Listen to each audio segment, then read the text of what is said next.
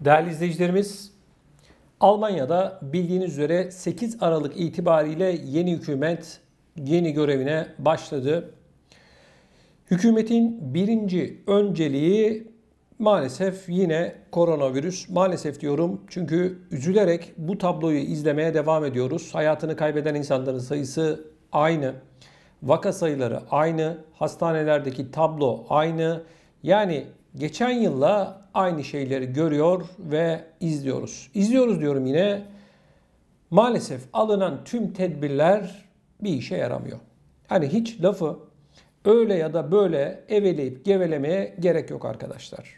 Sıvı dediler, insanlar sıvıları vurdular ama görüyoruz ki yine maalesef hastanelerdeki hasta sayısı artıyor.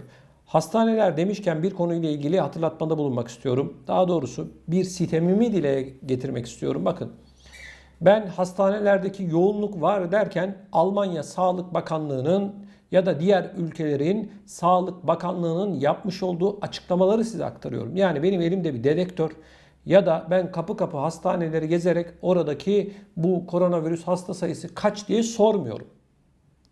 Şimdi Hastaların bir kısmı başka ülkelere, eyaletlere maalesef sevk ediliyor. Burada bakın açık bir şekilde siyasetçilerin basiretsizliği söz konusu. Neredeyse bir buçuk iki yıldır koronavirüs hayatımızda. Almanya'daki yoğun bakım yatak sayısı 33 bindi bir buçuk yıl önce. Bugün de 33 bin. Yani değişen bir şey yok arkadaşlar. Geçmişteki SPAN yani bir önceki Sağlık Bakanı şunu söyledi. Dedi ki her şey kontrolümüzün altında. Biz tüm tedbirlerimizi aldık. Bu kış geçen yılki gibi ağır geçmeyecek dedi. Alınan tüm tedbirlere rağmen görüyoruz ki bu açıklamalar yersiz oldu. Yani bu açıklamalarla işin gerçeği bambaşka.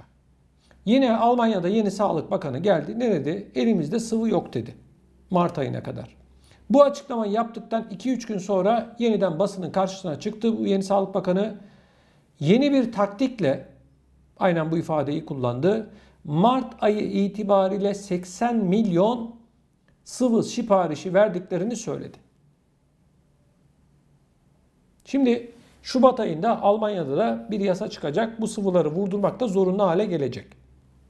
İşte o zamana denk getirdiler. Olay anlaşılıyor. Peki şu anda çok ağır bir şekilde bu hastalık seyrediyor. Yine Robert Koch Enstitüsü'nün danışmanlarından yapılan son dakika açıklamasına göre yaklaşık 700 bin vaka sayısına ulaşılması bekleniyor arkadaşlar. Ocak ayının ortasında. Günlük 700 bin vaka. Peki bu işten kurtuluşu diyorsunuz ki sıvılar. Tamam kabul ettik bunu. Peki sıvılar gelene kadar, Mart ayı gelene kadar bu hayatını kaybedecek olan insanların sorumlusu kim olacak?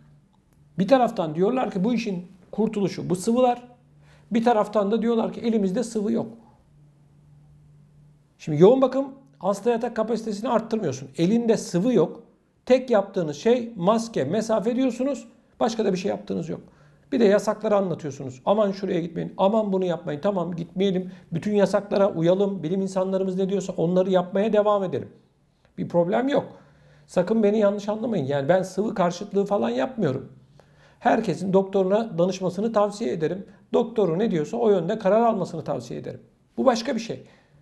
Yani benim ya da senin sağlığınla ilgili olarak kararı sen vereceksin, başkası değil. E şimdi o önümüzde böyle bir başarısızlık tablosu var.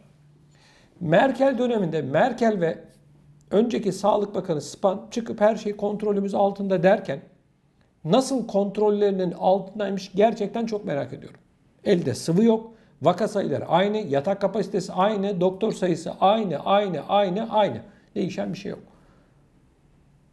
Yani sözün özü hep söylüyorum. Ben Hatice'ye değil neticeye baktığım zaman bugün vaka sayılarına ve hayatını kaybeden insan sayılarına baktığım zaman ortada ciddi anlamda bir sorun var arkadaşlar. Ocak ayının ikinci haftası itibariyle vaka sayılarında patlama olacak. Sebebi ise şu. Koronavirüs biliyorsunuz kalabalığı seviyor. Yılbaşı nedeniyle insanlar bir araya gelecek.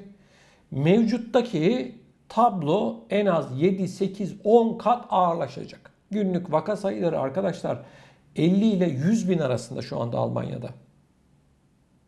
50 bin, 70 bin, 75 bine kadar çıktı bu dönemde. Hayatını kaybeden insanların sayısı günlük 500'ü geçmiş durumda. E baktığımız zaman aslında ocağın ikinci haftasında ne olacağını tahmin etmek çok zor değil. Ama bizim sağlığımızı emanet etmiş olduğumuz bu siyasetçilerin gerçekleri saklayarak bize bir polyanacılık oynadığı, bir tiyatro oyunu oynadığı açık bir şekilde ortada. Sadece Almanya'yı anlatmıyorum arkadaşlar. Avrupa'nın tamamı böyle. Danimarka, İngiltere çok zor durumda. Omikron denilen yeni varyant adeta esip gürlüyor. Ama tedbirler yetersiz arkadaşlar. Yersiz ya da yetersiz. Bu karar sizin. Ben bir konuda fikrimi ifade etmek istiyorum izninizle. Bakın. İnsanlar çok üzücü bir şekilde hayatlarını kaybediyorlar. Kaybetmeye devam ettiler. Geçmişte birkaç ay öncesine kadar benim yakınlarımın içerisinde de hayatını koronavirüse bağlı olarak kaybedenler oldu. Çok yakınlarımdaki insanlar. Çok çok üzücü bir durum. Allah hiç kimseye göstermesin arkadaşlar. Sapa sağlam. Hastaneye yatıyor. ikinci gün aramızdan ayrılıyor. Bunun tarifi yok. Ben bu kadar bu olayla ilgili bir sürü şey anlattım.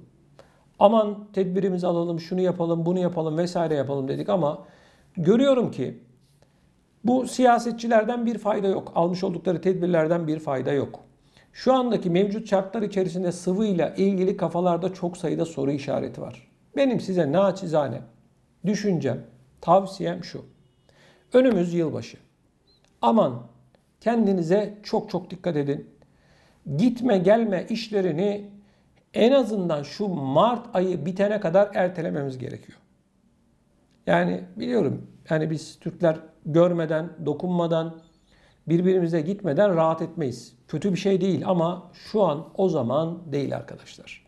Sizler tabii ki daha iyi iyisini biliyorsunuz. Ancak görünen tabloda ben gerçekten durumun daha da çok çok ağır olacağını gözlemliyorum. İnşallah yanılıyorumdur.